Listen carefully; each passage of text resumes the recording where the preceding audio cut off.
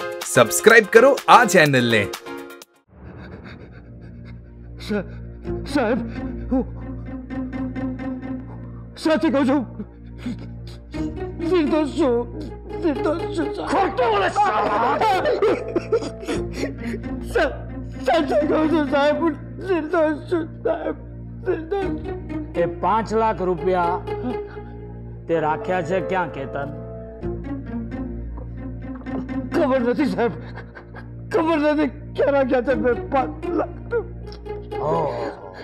અને સાહેબ રાહુલ રાહુલ છે મારું રાહુલ એ પાંચ લાખ રૂપિયા તે રાખ્યા છે ક્યાં રાહુલ ખ- ખબર નહીં સાહેબ ક્યાં રાખ્યા છે ક્યાં રાખ્યા છે ક્યાં રાખ્યા છે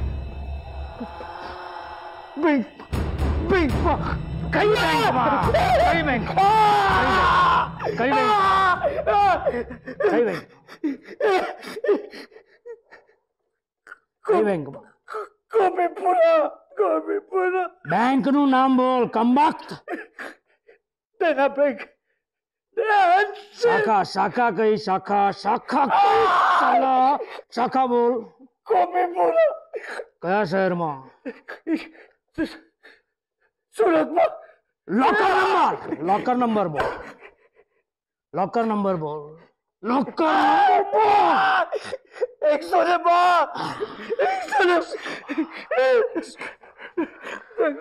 एक सौ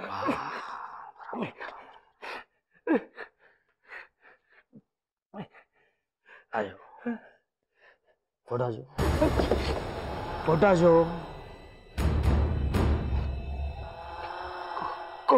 કોણ છે કોણ છે કોણ છે તે જેનું ખૂન કર્યું છે એ સ્ત્રી આ છે નહીં સાહેબ મેં કોઈનું ખૂન નથી સાહેબ સાચા કહું છે જાનતી જાનતી છો જાનતી છો મારી સામે નહીં કાન હોય છો સાહેબ સાહેબ મેં કોઈનું ખૂન નથી કર્યું સાહેબ સાચા કહું છું મેં કોઈનું ખૂન નથી કર્યું સાહેબ અર્ચના દેસાઈ નામ છે અર્ચના દેસાઈ સરસ છે તે જેને મારી નાખી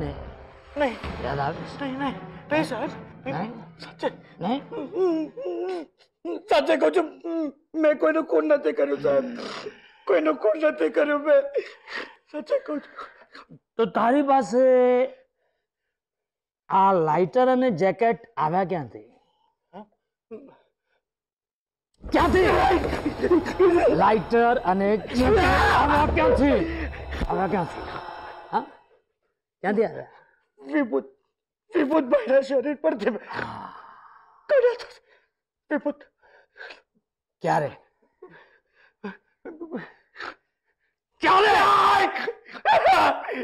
ક્યારે ત્રેવીસમી ફેબ્રુઆરીએ ક્યાં ક્યાં ક્યાં ક્યાં રાત્રે હું એ રસ્તા પરથી જ જઈ રહ્યો હતો સાહેબ શા માટે જતો હતો તું શા માટે શા માટે જતો હતો તું સાહેબ હું મારા ટેમ્પોમાંથી ત્યાં જઈ રહ્યો હતો હા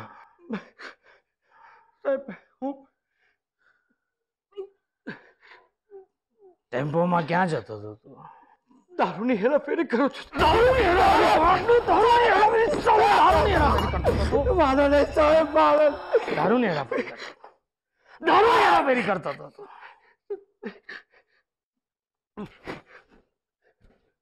પાણી મળશે પાણી પાણી. પાણી પીવું પાણી. પીવું છે. પાણી પીવું છે રાહુલ ને પાણી પીવું છે.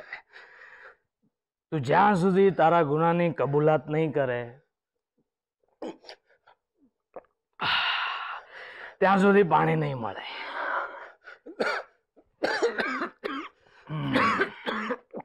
બોલ જલ્દી બોલ જલ્દી બોલ જલ્દી બોલ જલ્દી મારા ફ્રેન્ડ ફ્રેન્ડના મેરેજ હતા એટલે હું એ રસ્તા પરથી જઈ રહ્યો હતો કેટલા વાગેલા કેટલા વાગેલા કેટલા વાગેલા ત્યારે સાડા સાડા આઠ. સાડા ઘડિયાળ પહેરે તું ઘડિયાળ પહેરે, ઘડિયાળ પહેરે તું ઘડિયાળ પહેરે ઘડિયાળ પહેરે? ઘડિયાળ પહેરે તું. છે ઘડિયાળ પહેરે તું ઘડિયાળ પહેરે તું. પહેરે છે તું ઘડિયાળ. કેટલા વાગેલા તને કેવી રીતે ખબર પડી? હમ? જવાબ આપ. જવાબ આપ. સાહેબ એ દિવસે મારે મારો દોસ્તના લગ્નમાં જવાનું. એટલે મેં મારો ટેમ્પો ફાસ્ટ ચલાવતો હતો અને ત્યાં અચાનક સમય એક લાઇટર હતું ક્યાં લઈ ગયો તું એને હું સુ- સુ- સુરતની મ્યુનિસિપલ હોસ્પિટલમાં લઈ ગયો સાચું સાચું સાચું બોલું છું સાચું બોલું છું સાહેબ કેટલા વાગેલા સાપુતારાથી સુરત સુરત પહોંચતા તને કેટલા વાગેલા? મારો નહીં સાહેબ તમે કેટલા વાગેલા? પહોંચ્યો કેટલા વાગે તું હોસ્પિટલમાં? સાડા અગિયાર બાર વાગે સાહેબ સાડા અગિયાર બાર વાગે. હોસ્પિટલમાં? સુરતની મ્યુનિસિપલ હોસ્પિટલમાં. કોનું નામ છે ત્યાં? એ સાહેબ આ વાત હું સાબિત કરી શકું એમ છું. હા સાહેબ.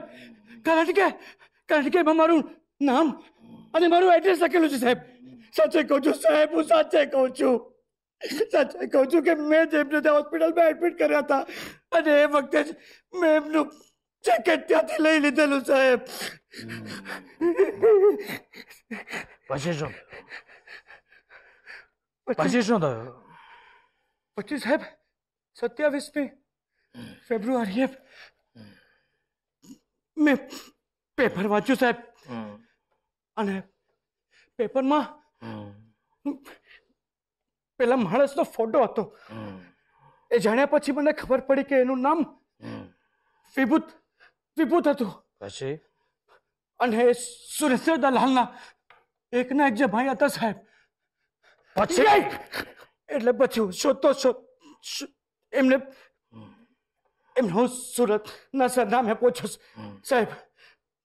અને અહીંયા સુરત આવીને મને ખબર ખબર પડી કે અર્ચના દેસાઈનું મૃત્યુ થયું. થયું છે. એટલે પછી મારા મગજમાં ખરાબ વિચાર આવ્યો સાહેબ ખૂબ બધા પૈસા કમાવાનો ખરાબ વિચાર આવ્યો સાહેબ. મેં વિચાર્યું કે અર્ચના દેસાઈના ખૂનમાં હું વિભૂત પારેખને ફસાવી નાખું. અને એવું પુરવાર કરીને કૃતિ પારેખ પાસેથી ઘણા બધા રૂપિયા લઈ શકું સાહેબ. સાચું કહું છું સાહેબ આજ મારી એક ભૂલ છે હું નિર્દોષ છું સાહેબ ભલે છોડી છોડી તો સાહેબ ભલે છોડી એટલે તું ખોટો ઇન્સ્પેક્ટરનો ડ્રેસ પહેરી બનાવટી ઓળખાણ આપવા ત્યાં પહોંચી ગયો બરાબર હમ? હમ, પૈસા કમાવા વધારે પણ ને સાહેબ તમને એક બીજી વાત કહું હા બોલ અર્ચના દેસાઈનું ખૂન મેં કે વિભૂતભાઈ નથી કર્યું સાહેબ સા- સાચે કહું છું સાહેબ સા- અર્ચના દેસાઈનું ખૂન મેં કે વિ- વિભૂતભાઈ નથી કર્યું સાહેબ સાચે કહું છું સાહેબ નથી કર્યું અમે એનું ખૂન જો આ તે જે મને બધી વાત કહી ને એમાંની એક પણ વાત ખોટા! સાલા. તો જે પગે ચાલતો ચાલતો તું પોલીસ સ્ટેશન આવેલો ને એ પગ જીવવા માટે- જીવવા માટે ચાલી નહીં શકે ચાલી નહીં શકે ચાલી નહીં શકે. સાચે કહું છું સાહેબ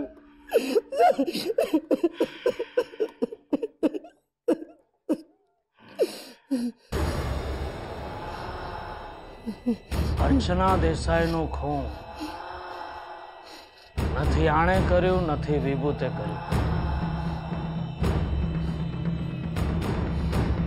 તો પછી કર્યું કોણ?